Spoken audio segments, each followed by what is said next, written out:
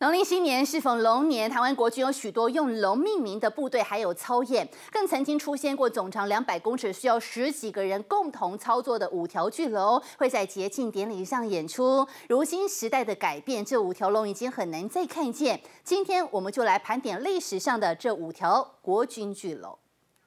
新年到，龙年到，龙在传统文化中象征强大和吉祥的力量，国军也不乏用龙来命名的部队和操演。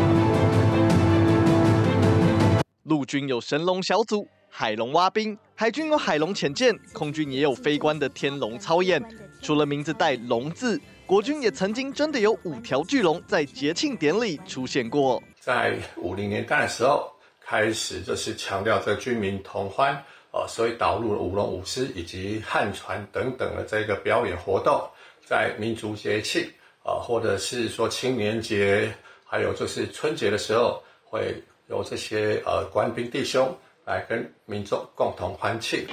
游行的压轴节目，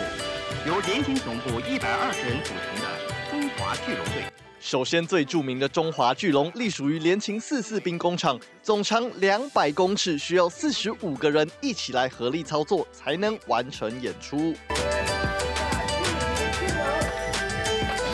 第二条是步兵两栋三旅的关田龙，九十公尺的身长，配上龙头、龙身、龙尾，共三十四节，全部六十个人演出时，声势浩大，非常壮观。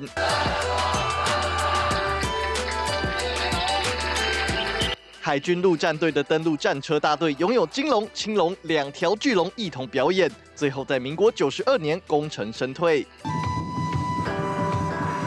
第五条的万金龙是基部三三三旅的骄傲，全长六十公尺的它，在民国七十五年万金营区落成时就驻守在屏东。国军的五条巨龙在时间的洪流中，因为部队编制改变与人力精简下，已经不复见。不过，二零二四年基部三三三旅即将迎来百年对庆，令人期待的万金龙或许有机会在盛大的对庆活动中重出江湖。记者李洛彤、蓝进发采访报道。